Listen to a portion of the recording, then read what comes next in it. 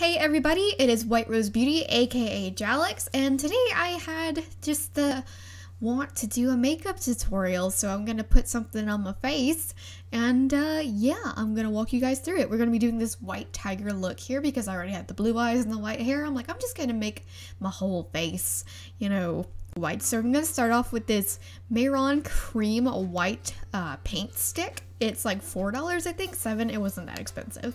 But I'm gonna put that all over my face with this Real Techniques blending sponge. I don't have a regular beauty blender, don't judge me. And then we're just gonna rub this under our eyes, kind of like a basic um, cream foundation like you would with the, what, what is it, the Makeup Forever HD foundation stick. Same thing, same application process. Ooh, look at my face. and then it's just about, it, it took me about five minutes to blend all of this to make it look slightly blended completely. It's a really, really thick cream foundation, so yeah, it was really hard to completely blend together. As you can see, I caught my ears a little bit, and I had to go over my eyebrows again because I could not block them out. I did not have a glue stick, so yeah, that is why. So I just layered it over a little bit. I decided to incorporate the eyebrows since I couldn't cover them, but I'll get to that later. And I covered my ears more, a little bit of my neck so it didn't look too off. And I can tell it's kind of patchy, but I was doing all my makeup in my viewfinder because I don't have a mirror. I'm gonna invest in one. And then here, I take, you can't see it, but it's, yeah, here you go, baby powder. And I just put it all over my face to fill in the little holes and set the makeup a little bit. That way it's not super, super uh, muddy with all the powders I'm going to be using. So yeah, we just keep blending that in like powder everywhere. There's a little patch of my forehead I had to get in. kind of rubbed it. You can't see it because I'm going very fast, but I'm I am uh, patting my face. I am not rubbing it in. Only on my forehead that I rub it a little bit just to get the powder to go around like that. I just kind of rubbed it in a little bit, but otherwise I was just patting it down. And then I take a brush and I blend it all out. And then right here, I am blending a little bit more. And I'm putting a little extra powder on my face with the brush. This is just to get it like as white as I can and try to blend out all that patchiness and make sure I set it enough. That way, like I said, it won't get muddy. And we finish up blending here. Here's my face. I look like the Grudge Girl. now I'm going to take a small angled brush and I'm going to dip it in this really medium gray. It was kind of matte, kind of shimmer. This is old RC Cosmetics eyeshadow palette that really sucks. I've had this for about two years. The eyeshadows are old and, you know, crusty a little bit, but it's all I have. Uh, I'm trying to get a better palette eventually. It's just money's tight right now. So yeah, that's what's good about this because, you know, it's really cheap, easy makeup tutorial. So what I'm doing here is I went in with that gray and a little fluffier brush and I'm just contouring my nose a little bit. This is more or less just a base to get that more defined feline nose. Now, tigers do have a much wider nose at the end, but uh, I just kind of went in for a feminine uh, contoured feline look with my nose. I defined my eyebrows with a slightly darker color like you can see in the video and I did it mostly on the inner parts that way my eyebrows didn't look too masculine they weren't too filled in and I also helped the contour of my nose at the top I decided to put a little on my eyes to define my eyes a little bit but like I said this is really crappy eyeshadow, so it does not want to blend. It's not very pigmented, like you have to pile it on. You could see the left eye, uh, right eye? I don't know which one, because it's flipped, but it went on a lot better. And then I blended it out so it wouldn't be as hard. Ugh, why did I say it like that? But yeah, here we go, blending it in.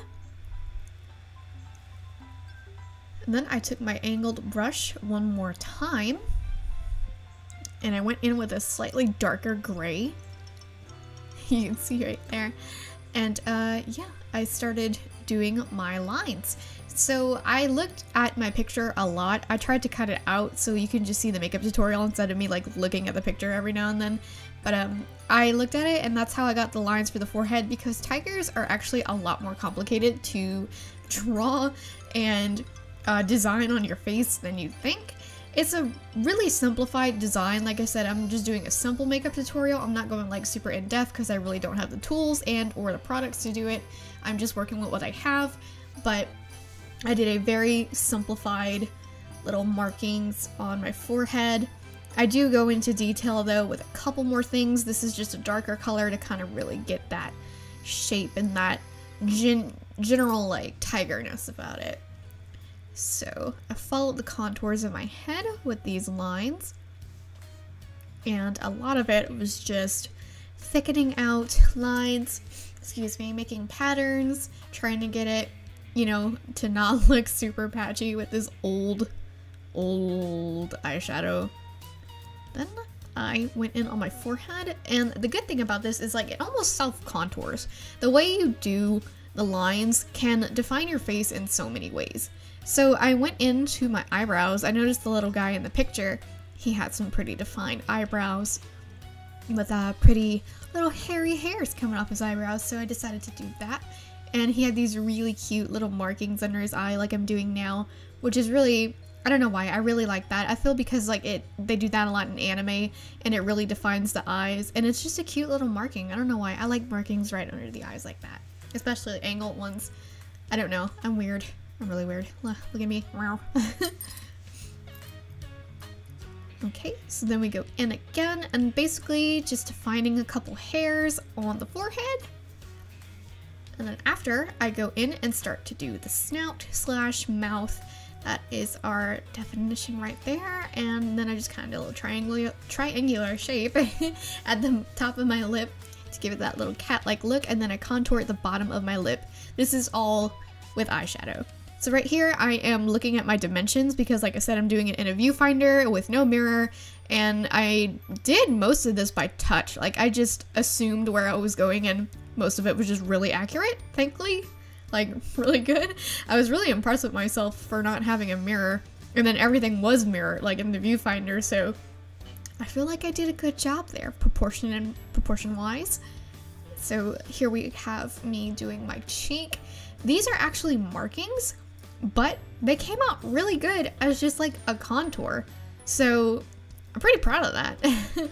so they, they, didn't come out too bad. I feel like the other, the first one came out better than the second one. Here I'm just kind of blending it out, which was a little bit of a mistake. It did kind of blend it, but on that side right there, it took some of the white makeup off. I don't know why, that was odd.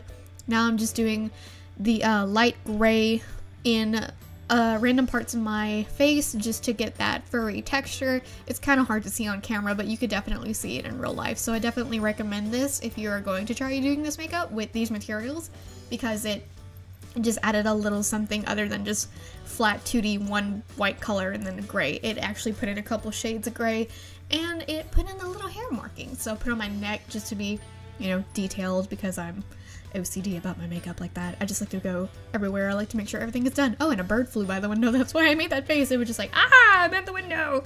And I was like, okay, random bird. Then I went in with a darker color again, and I contoured the sides of my face. This was the same color I used for the stripes. I um I contoured my nose, sorry. I just wanted to see what uh it would look like a little more contoured. Then I blend it a little bit right there. And yeah, I feel like fingers are a good thing to blend with.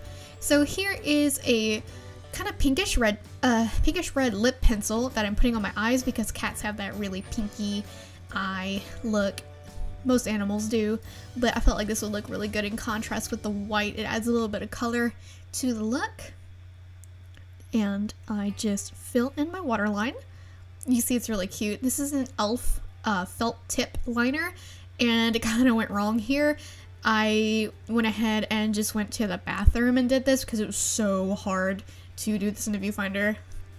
So I took the little spongy applicator, I don't know what they're called, and I went in with the black and just filled in my uh, sketch for the nose with the black eyeshadow. This was kind of like a cleanup slash just filling in application. It, I see that the nose is really messy. You don't have to tell me. It was really hard to do it, and the e.l.f. eyeliner just like would not go on, which is why I went back in with the black eyeshadow. So yes, I'm aware that it is messy. It just would not fix itself, and I don't know why. Like I really did try. By the way, it is really hard to color in your nose when you have crappy utensils. So there we go, in with two different brushes, just trying to clean it up. Then I take my fingers, dip it in the white, and I add a little shine to my nose to add a little bit more dimension because it looks kind of flat. At this point right here, I was taking pink to try to give it a little bit of color because tigers do have some pink in their nose, but it was not working. As you can tell by my face, I was like, what the hell? Why aren't you going on? But yeah, so that was a fail. But I just wanted to see what it would look like if I could try. So going in with some e.l.f. mascara. Um, I just really wanted those long, pretty cat lashes, which it didn't do that great of a job at, but it did something. So there we go. And then now I'm just kind of blending it all out a little more, just trying to get rid of some harsh edges if there are any. And then I go in with a different eyeliner to kind of define it a little more, make it a little blacker because the e.l.f. eyeliner did not really do a good job at getting that good dark black cat eye. And it's basically a touch-up process right here. And my camera died, so I had to change angles. It's on the charger right now. And I'm just filling in my lips with the, I think it's Maybelline Master Kajal. I don't know how to say it. Kajal, Kajal.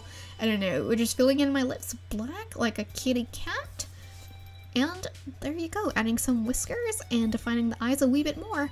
And now you are a pretty, pretty tiger princess, or just a tiger, whatever you want to be.